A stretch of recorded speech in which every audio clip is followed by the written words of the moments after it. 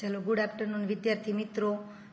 ધોરણ ત્રણ ગણિતની અંદર આપણે ચેપ્ટર ટુ બરાબર? સંખ્યાની ગમત. સ્વાપોથી. ચાલો, દરેક વિદ્યાર્થી પોતપોતાની સ્વાપોથી ખોલશે અને પાના નંબર ત્રેવીસ. પાના નંબર ત્રેવીસ પર જુઓ. એમાં લખેલું છે, ચાલો, બધા વિદ્યાર્થી મિત્રો, એ ખોલી સ્વાપોથી અને એની અંદર જુઓ પેજ નંબર ખોલો. દરેક વિદ્યાર્થી પેજ નંબર ત્રેવીસ ખોલશે. ત્રેવીસની અંદર આપણે આગળ શીખી ગયા કે સંખ્યાની શબ્દમાં કઈ રીતે લખાય, ત્યારબાદ પછી આપણે બધાની સદીઓ વિશે વાત કરી, બરાબર? કે કયા ખેલાડીએ કેટલા રન કરેલા છે, બરાબર? હવે આપણે જોવાનું છે પાના નંબર ત્રેવીસ. એની અંદર ચાલો જુઓ, દાખલા નંબર ચાર.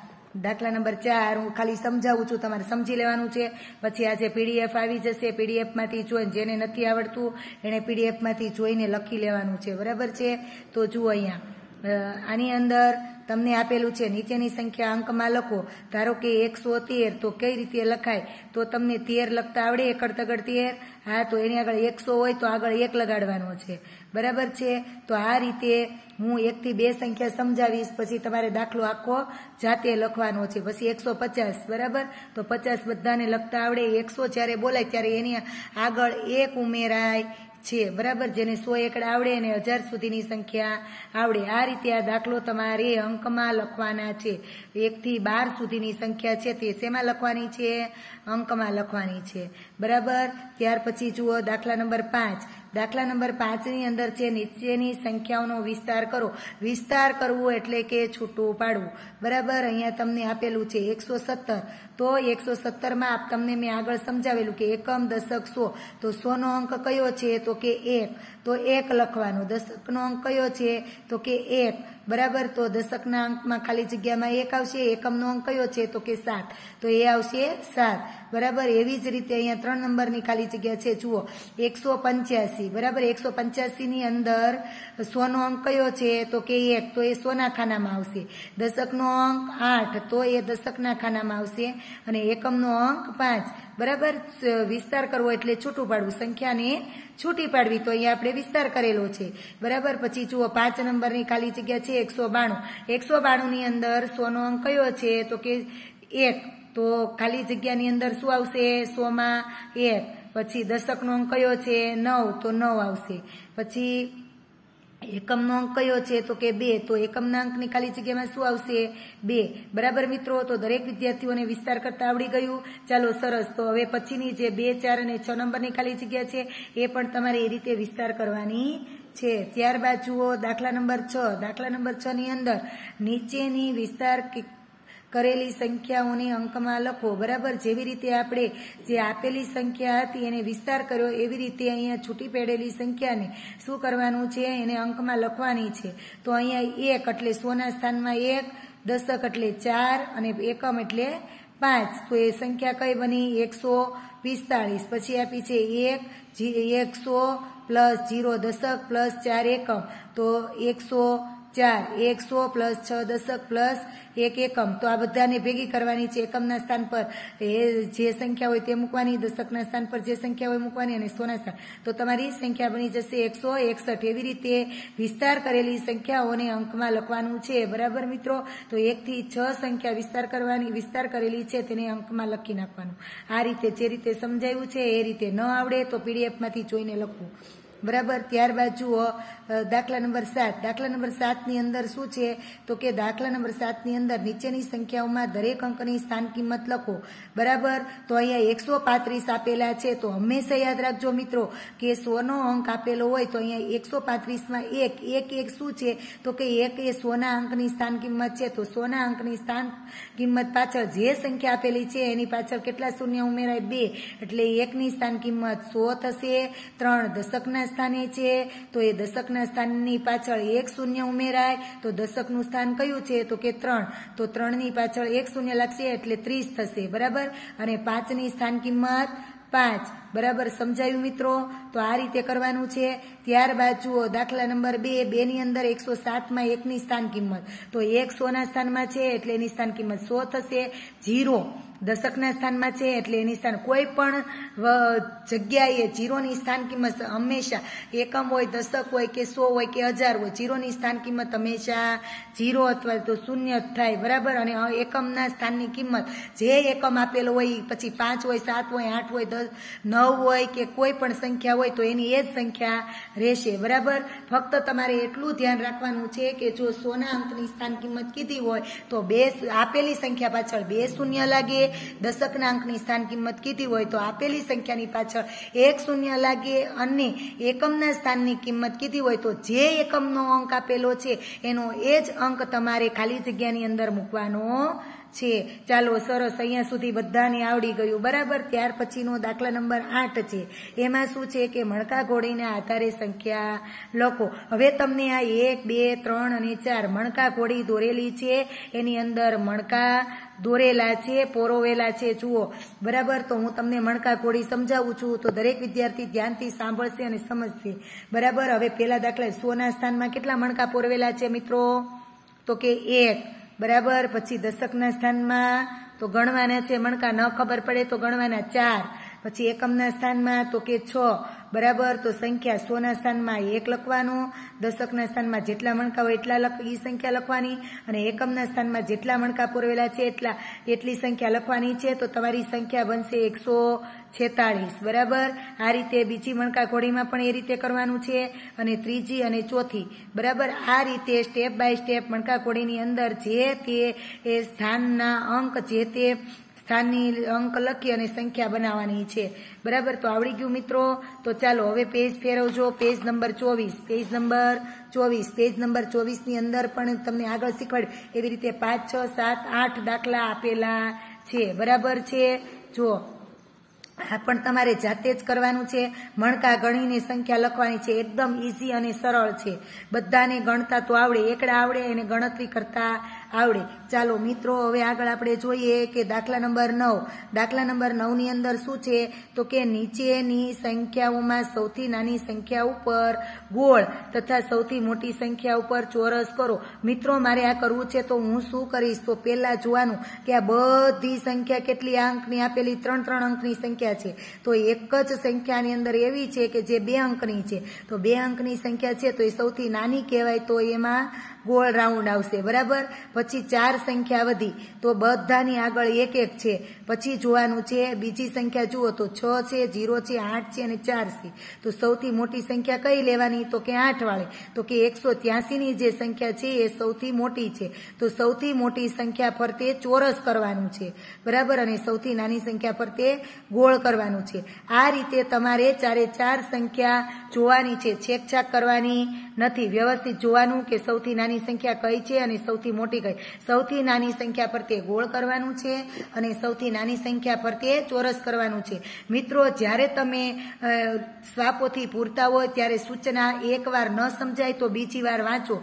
અને ઇતિ ન ખબર પડે તો પીડીએફ તમને આજે મોકલવામાં આવશે. પીડીએફમાંથી જોઈને તમારે લખવાનું છે. પહેલાં તો જાતે જ કરવાનું છે. ગણિતની અંદર વસ્તુ એવી છે કે જો તમે જાતે કરશો તો તમને વધારે સરળ. જાતે કરી અને પછી તમારે પીડીએફમાં ચેક કરવાનું છે કે તમે લખેલું લખાણ તમને કેટલું આવડ્યું છે? બરાબર પીડીએફમાંથી જોશો એટલે ખબર પડી જશે. જો ખોટું હોય તો તમારે ઇરેઝ કરી અને સાફ કરી અને ફરીવાર લખવાનું છે. પણ કંઈ કે એક પણ જગ્યાએ ખોટું લખાણ લખવાનું નથી. ત્યારબાદ જુઓ, દાખલા નંબર દસ. દાખલા નંબર દસની અંદર શું છે? તરત પહેલાંની સંખ્યા લખો તો આપણને બધાને ખબર છે કે એકસો ત્રીસ પહેલાં કેટલા આવે? તો કે એકસો ઓગણત્રીસ. એકસો છપ્પન પહેલા કેટલી સંખ્યા આવે? તો કે એકસો પંચાવન. એની જે ઉપરની સંખ્યા છે એ આપણે લખવાની છે કે પંચાવનની ઉપર કેટલા આવે? તો કે ચોપન. ચોપનની ઉપર કેટલા આવે? તો કે ત્રેપન. બરાબર? એકસોનું સ્થાન છે એટલે એ આગળ એક એક લગાડતો જવાનો છે. બરાબર, હવે એકસો સાહીઠ છે, તો એકસો સાહીઠની ઉપર કેટલા આવે? તો કે એકસો ઓગણસાહીઠ આ રીતે દરેક દરેક બાર આપેલી છે તમને ખાલી જગ્યા. એ બારે બાર. આગળની સંખ્યા લખવાની છે. ત્યારબાદ જુઓ દાખલા નંબર અગિયાર. એની અંદર છે, તરત પછીની સંખ્યા લખો. તરત પછીની સંખ્યા એટલે નીચેની સંખ્યા. ધારો કે એકડે એક પછી શું આવે? નીચે. તો કે બગડે બે. બગડે બે ની નીચે કેટલા આવે? તગડે ત્રણ. હવે બે એકડા અગિયાર છે, તો એની નીચે કેટલા આવે? તો કે એકડ બગડ બાર. બરાબર? બે ચોગડા ચુમ્માલીસ છે, તો એની પછી નીચે સંખ્યા કઈ આવે? તો કે ચોગડ પાછળ પિસ્તાળીસ. બરાબર? તો એની પછી પછી જે આવતી સંખ્યા છે, એટલે કે નીચેની સંખ્યા. બરાબર? એ લખવાની છે. તો કે અહીંયા એકસો ઓગણસિત્તેર આપેલા છે, તો એકસો ઓગણસિત્તેર પછી કઈ આવશે? એકસો સિત્તેર. એકસો ત્રણ પછી તો કે એકસો ચાર. એકસો ઓગણપચાસ પછી તો કે એકસો પચાસ. આ રીતે તમારે સંખ્યાનું લેખન કરવાનું છે. એવી રીતે તમારે બાર સુધી ખાલી જગ્યા પૂરવાની છે. ત્યારબાદ છે વચ્ચેની સંખ્યા લખો. દાખલા નંબર બાર. વચ્ચેની સંખ્યા લખતી વખતે બે સંખ્યા જોવાની છે કે અહીંયા એકસો છ છે, એકસો આઠ છે. તો એકસો છ અને એકસો આઠની વચ્ચે કઈ આવે? તો કે એકસો સાત. બરાબર એકસો અઠ્ઠાવન એકસો સાહીઠની વચ્ચે કેટલી આવે તો કે એકસો ઓગણસાઠ. બરાબર બે સંખ્યા ધ્યાનમાં રાખીને લખવાનું છે. બરાબર ત્યારબાદ છે એકસો ત્યાસી ને એકસો પંચ્યાસી. વચ્ચેની કઈ આવશે તો કે એકસો ચોર્યાસી. એવી રીતે તમને અહીંયા નવ સંખ્યા આપેલી છે. નવે નવની તમારે ખાલી જગ્યા પૂરવાની છે. વચ્ચેની સંખ્યા લખવાની છે. ત્યારબાદ જુઓ મિત્રો, ખાસ સમજવાનું છે. દાખલા નંબર તેરની અંદર કે ચડતા ક્રમમાં લખો. મિત્રો, હંમેશા યાદ રાખજો, તમને એક, બે, ત્રણ, ચાર, પાંચ સંખ્યા આપેલી છે. હંમેશા ચડતા ક્રમની અંદર સંખ્યા લખવા માટે સૌથી પહેલા કઈ સંખ્યા લેવાય તો કે નાની સંખ્યા લેવાય. પછી એનથી મોટી એનથી મોટી એનથી મોટી એનથી મોટી અને એનથી મોટી. જેમ જેમ આગળ વધતા ચડતા જઈએ તેમ તેમ આગળ સંખ્યા વધતી જાય. બરાબર? એટલે નાનેથી શરૂઆત થાય. એટલે સૌથી નાની સંખ્યા હોય એ પહેલાં લેવાની છે. તો આની અંદર ગોતવાનું છે કે સૌથી નાની સંખ્યા કઈ છે? તો કે એકસો ચાર. બરાબર? પછી કઈ આવે છે તો કે એકસો અડતાલીસ?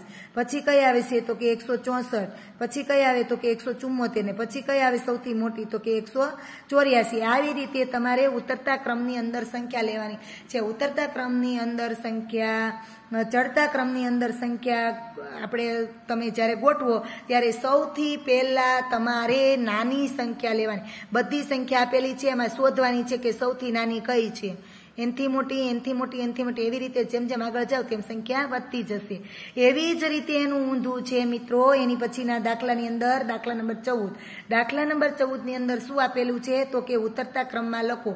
ઉતરતા ક્રમમાં સંખ્યા લખવા માટે શું કરવાનું છે? તો કે ઉતરતા ક્રમની અંદર સંખ્યા લખવા માટે તમારે સૌથી પહેલા મોટી સંખ્યા લેવાની છે. બરાબર? એમાં જોવાનું કે સૌથી મોટી સંખ્યા કઈ છે? તો હું તમને એક સમજાવી દઉં કે ભાઈ એકસો ચુમ્મોતેર એકસો છત્રીસ, એકસો અઢાર, એકસો એક્યાસી, એકસો આપેલી છે. તો સૌથી મોટી સંખ્યા કઈ છે? તો કે એકસો એક્યાસી છે. બરાબર છે? એનથી નાની તો કે સાત વાળી સંખ્યા એકસો ચુમ્મોતેર પછી છ વાળી એકસો ત્રેસઠ, પછી ત્રણ વાળી તો કે એકસો છત્રીસ ને પછી એક વાળી. આગળ બધી જગ્યાએ એક એક આપેલા છે. તો બીજી સંખ્યાનું નિરીક્ષણ કરો. બીજી સંખ્યા સરખી છે તો ત્રીજી સંખ્યા જુઓ. બરાબર? આ રીતે કરશો એટલે સરળતાથી તમને ચડતો ને ઉતરતો ક્રમ આવડી જશે. બરાબર છે? તો આ રીતે ઉતરતા ક્રમની, ચડતા ક્રમની અંદર સૌથી નાની અને ઉતરતા ક્રમની અંદર સૌથી મોટી સંખ્યા પહેલા લેવાની છે. તો દરેક વિદ્યાર્થી મિત્રોને સમજ પડી ગઈ છે તો આ રીતે તમારે સંખ્યા ગોઠવવાની છે. ભૂલ ન થાય. ખાસ ધ્યાન રાખવાનું. એકવાર લખ્યા પછી ચેક કરવાનું છે કે મેં જે સંખ્યા ગોઠવી છે બરાબર ગોઠવેલી છે. બરાબર લખીને તરત મૂકી દેવાનું નથી. લખ્યા પછી એક એક પેજ, એક એક ખાલી જગ્યા તમારે ચેક કરવાની છે. બરાબર? જેથી કરીને તમારું લખાણ ખોટું પડે નહીં. બરાબર? ત્યારબાદ જુઓ, પાના નંબર છવ્વીસ. સ્વાપોથીની અંદર પાના નંબર છવ્વીસ, એની અંદર દાખલા નંબર પંદર, દાખલા નંબર પંદરની અંદર જુઓ, શું આપેલું છે? નીચેની વિગત કઈ સંખ્યા દર્શાવે છે તે લખવાનું છે. બરાબર? તો અહીંયા તમને આપેલું છે સો, દશક અને એકમ. એકમનું સ્થાન, દશકનું સ્થાન અને સોનું સ્થાન. આ ત્રણ સ્થાન તમને મિત્રો આપેલા છે. તો ત્રણ સ્થાનની અંદર સોનું સ્થાન છે. જો આ સો છે બરાબર? સો પછી અહીંયા વચ્ચેની જે છે તે દશક દશક એટલે દસ દસના ભાગ હશે, સો એટલે સોના ભાગ હશે અને એકમ એટલે છૂટા અંક ગણવાના રહેશે. બરાબર? હવે અહીંયા આપણે જુઓ. તો એ એની વિગત પરથી આપણે સંખ્યા કઈ છે તે લખવાની છે. હવે અહીંયા સોનું ચોખ્ઠું કેટલું છે? તો કે એક. તો કે એકડે એક આવશે. દસ દસના કેટલા છે? તો કે બે. એની બાજુમાં બે આવશે. છૂટા કેટલા છે? તો કે એક, બે, ત્રણ, ચાર, પાંચ, છ. તો છ. તો સંખ્યા કઈ બની? એકસો છવ્વીસ. હવે અહીંયા જુઓ સો સોના કેટલા બોક્સ છે? તો કે એક, બે, ત્રણ. તો પેલા ત્રણ લખવાના છે. પછી દસ દસના કેટલા? એક, બે, ત્રણ, ચાર. બરાબર? ચાર દસના છે. માટે એની બાજુમાં ચોગડે ચાર આવશે. છૂટા કેટલા છે? તો ગણવાના. એક, બે, ત્રણ, ચાર, પાંચ, છ, સાત. એકદમ સરળ છે તો સાત. સંખ્યા કઈ બની? ત્રણસો સુડતાલીસ. તો દરેક વિદ્યાર્થી મિત્રોને આવડી ગયું ને? કેટલું સરળ અને સીધું અને સાદું છે. બરાબર? જો સમજશો તો તમને વ્યવસ્થિત આવડશે.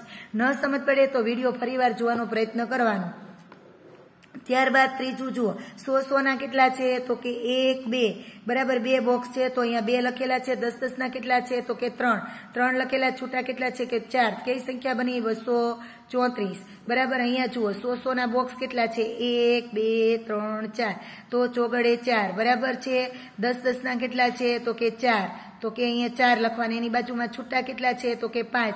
તો એની બાજુમાં પાંચ. સંખ્યા કઈ બની? તો કે ચારસો પિસ્તાળીસ. બરાબર? બધા વિદ્યાર્થી મિત્રોને આવડી ગયું? સરસ આવડી ગયું. ચાલો, હવે આપણે આગળનો દાખલો જોઈશું. આગળના દાખલાની અંદર, દાખલા નંબર સોળ. એની અંદર શું છે? મણકાકોડીને આધારે જેવી રીતે તમે આગળ સંખ્યા બનાવી મણકાકોડીને આધારે એવી જ રીતે અહીંયા પણ બનાવવાની છે. એની અંદર શું આપેલું છે? તો કે જુઓ મણકાકોડી દોરેલી છે. બરાબર છે? મણકાકોડીની અંદર સો દશક અને એકમનું સ્થાન આપેલું છે. સોના સ્થાનની અંદર કેટલા મણકા છે? તો કે ત્રણ. તો ત્રણ લખવાના છે. પછી દશકના સ્થાનની અંદર કેટલા છે? તો કે છ. તો એની બાજુમાં છ લખવાના છે. એકમના સ્થાનની અંદર એક પણ મણકો છે નહીં. જ્યારે એક પણ મણકો ન હોય, તો તેની જગ્યાએ શું લખવાનું થાય મિત્રો? તો કે શૂન્ય લખવાનું થાય. તો સંખ્યા કઈ બની? તો કે ત્રણસો સાહીઠ. પછી જુઓ. અહીંયા બીજી બીજી મણકા કોડીની અંદર કેટલા મણકા પોરવેલા છે? તો કે છ. બીજામાં તો કે છ ત્રીજામાં તો કે ચાર સંખ્યા કઈ બની? છસો ચોસઠ. બરાબર? એવી રીતે અહીંયા બનશે સાતસો પંચ્યાસી. બરાબર? દરેક વિદ્યાર્થી મિત્રોને મણકા કોડીમાં મણકા પ્રમાણે સંખ્યા ગોઠવતા આવડી ગઈ? તો કે હા, આવડી ગઈ. સરસ. મજા આવી ને? હા, સરસ. મજા આવી. બરાબર? હવે આપણે જોઈએ પેજ નંબર છવ્વીસ. પેજ નંબર છવ્વીસની અંદર જુઓ. એમાં પણ જે તમને મેં આગળ મણકા કોડી સમજાવી, એ જ રીતે મણકા કોડી તમને ચાર નંબર, પાંચ નંબર ને છ એ જાતે કરવાની છે. એટલે આવડી જશે. બરાબર? હવે આગળ આપણે જોવાનું છે કે દાખલા નંબર સત્યાવીસ. ઓલા સત્તર સોરી બરાબર સત્તર. નીચેની સંખ્યા શબ્દમાં લખો. જેવી રીતે આપણે આગળ સંખ્યા જોઈ, એ સોની હતી કે એકસો સિત્તેર, એકસો પંચાણું, એકસો ચુમ્માલીસ, એકસો બે, એકસો સાત, એકસો નવ. બરાબર આ રીતે હતી. હવે તમારી સંખ્યા આવશે. તે કઈ આવશે? તો કે બસોમાં. બરાબર? તો અહીંયા છે આગળ તમને જે છે તે સત્તાવન તો આપેલા છે. તો બધાને એકડા આવડે છે કે ભાઈ અહીંયા સત્તાવન છે તો સત્તાવન લખાય. તો એની આગળ બે છે. તો શું શું ઉમેરાશે બસો સત્તાવન, પછી પાંચસો ત્રાણું, બસો તોતેર, નવસો. બરાબર? જે રીતે તો બધાને આવડી જશે, પછી ત્રણસો હોય તો આગળ ત્રણસો લગાડાય સાત હોય તો સાતસો લાગશે, ચાર હોય તો ચારસો લાગશે, છ હોય તો છસો લાગશે, પછીની જે સંખ્યા છે એ તમારે લખવાય પછીના તો એકડા બધાને આવડે છે, તો એ રીતે તમારે લખવાનું છે. ચાલો, સરસ, આવડી ગયું દાખલા નંબર સત્તર. હવે દાખલા નંબર અઢાર. બરાબર? દાખલા નંબર અઢારની અંદર આપણે જોવાનું છે કે નીચેની સંખ્યાઓ અંકમાં લખો. બરાબર? તો અંકની અંદર શું કરવાનું છે? તો કે આઠસો વીસ. બરાબર? તમને શેમાં આપેલી છે સંખ્યા? તો કે ઈ અમને આપણને આપેલી છે શેમાં આપેલી છે? શબ્દમાં. શબ્દમાં આપેલી છે અને અંકમાં લખવાની છે કે આઠસો વીસ કેમ લાગે આઠસો. તો આગળ આઠ લાગે. વીસ. તો બગડે ને મીંડે વીસ. પછી બસો, ઓગણપચાસ. બસો. તો આગળ બે લગાડવાના, ઓગણપચાસ. તો કે ઓગણપચાસ? ચોગડ નવડ ઓગણપચાસ. એટલે થઈ જશે તમારે. આ રીતે તમારે દરેકે દરેક સંખ્યા શેમાં લખવાની છે? તો કે શબ્દમાં આપેલી છે, અંકમાં લખવાની છે. બરાબર? તો આવડી ગઈ બધાને? તો કે હા. સરસ રીતે આવડી ગઈ. બરાબર? હવે જુઓ દાખલા નંબર ઓગણીસ. દાખલા નંબર ઓગણીસની અંદર શું આપેલું છે? તો કે નીચેની સંખ્યાઓનો વિસ્તાર કરો. જે આપણે વિસ્તાર કર્યો એ રીતે સોના અંકમાં સોનો અંક આવશે, દશકમાં દશકનો અંક આવશે અને એકમમાં એકમનો અંક આવશે. જુઓ મિત્રો, અહીંયા કયો અંક આપેલો છે? તો કે ત્રણસો સુડતાલીસ નો અંક આપેલો છે. બરાબર? તો સોના અંક કયો છે? તો કે ત્રણ. દશકનો અંક ચાર, એકમનો અંક સાત. તો જો સોના અંકમાં ત્રણ, દશકમાં ચાર અને એકમમાં સાત. તો અહીંયા સોનાની કઈ બીજા નંબરમાં સંખ્યા આપેલી છે? તો કે ચારસો ઇઠ્યોતેર સંખ્યા આપેલી છે. તો ચારસો ઇઠ્યોતેરની અંદર એક સોનો અંક ચાર, દશકનો સાત અને એકમનો આઠ. તો દરેક વિદ્યાર્થી મિત્રોને આવડી ગયું. તો કે હા, હવે આગળના ત્યાર પછી આપણે આવતીકાલે જૂનનો લેક્ચર છે. તો જૂનના લેક્ચરની અંદર હું ત્યાર પછીના પેજની અંદર પૂછું ત્યારે તમારે બોલવાનું છે કે કોને કેટલું આવડ્યું છે. બરાબર છે? તો એ વિદ્યાર્થી મિત્રો જો જેને આગળના પેજ આવડ્યા છે અને પાછળના પેજ સરળતાથી અને ઇઝીલી આવડી જશે. બરાબર છે? તો ચાલો આજે આપણે અહીંયા સુધીના પાના નંબર છવ્વીસ. તો મિત્રો, આજે તમારે પીડીએફ તમારે ચેપ્ટર ટુની આવી જશે. પાના નંબરથી એકવીસથી લઈને છવ્વીસ સુધીની પીડીએફ આજે હું મોકલું છું. જો તમે વિદ્યાર્થી મિત્રો જાતે અંદર સંખ્યા લેખન કરેલું છે, તો તમારે ચેક કરવાનું છે. નથી કર્યું, નથી આવડતું, તો પીડીએફમાં જોવાનું છે. અને જો કર્યું છે, તો શું કરવાનું છે? પીડીએફમાંથી જોઈ અને પછી તમારે જે કાંઈ સુધારા વધારા હોય તે કરવાના છે. બરાબર છે? બને ત્યાં સુધી જાતે લખવાનો પ્રયત્ન કરવાનો. અને જાતે ન આવડે તો પીડીએફમાંથી જુઓ અને ચેક કરો કે તમે લખેલું સાચું છે કે નહીં. લખ્યું છે તો પીડીએફમાંથી ચેક કરવાનું છે. હો ને? ચાલો, સરસ. ચાલો, આજનો વીડિયો આપણે અહીંયા સુધી લીધો. તો આજનો વીડિયો આપણે અહીંયા સમાપ્ત કરીશું. અસ્તુ.